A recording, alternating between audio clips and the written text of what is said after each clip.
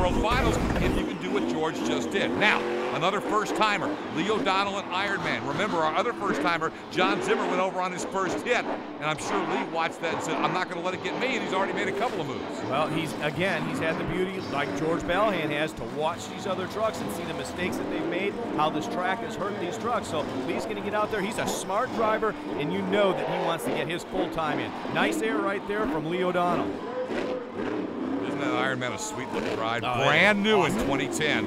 And you know, Lee O'Donnell doing a nice job getting the flow going. Where he has been developing is learning this game. Remember, he has come from a pure racing background, a superstar in the world of off-road racing who's made the transition to Monster Jam. Hey, that's fine when you line up at the it is. starting line, but freestyle's a whole nother game. Yeah, you're not freestyling too much in his old game. This is his new game, and this is what he needs to do right here, and he's doing it majestically. That was great, Lee. You know, he has been kind of the hired gun of the sport in the Yeah. last few years, Mark. Anytime anybody needed a ride, they called Lee O'Donnell. Why wouldn't I you? mean, there's one time Lindsey Weenk was pulled out of Blue Thunder Sure. to appear for Ford team. They ended up sending Lee O'Donnell into Atlanta. You see him crossbred. First time we see anybody do that. But anyway, he won that event. My point is, for the first time, he has his own truck. This is Lee O'Donnell and Iron Man.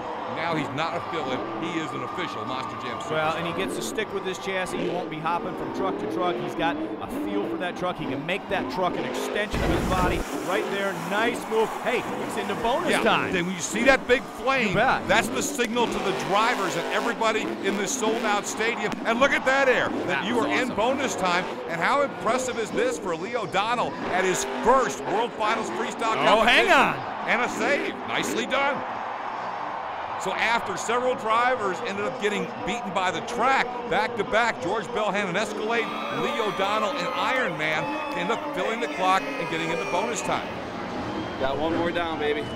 I don't know how many to go. What is there, like 12 left? It's gonna be a long night right now. Won't mind it being a long night if he can keep sitting there, rocking out to a little Black Sabbath, the new theme song for Iron Man, of course. And there you can see Lee O'Donnell. Good score, 25 will put him in Not second bad. place. Not bad.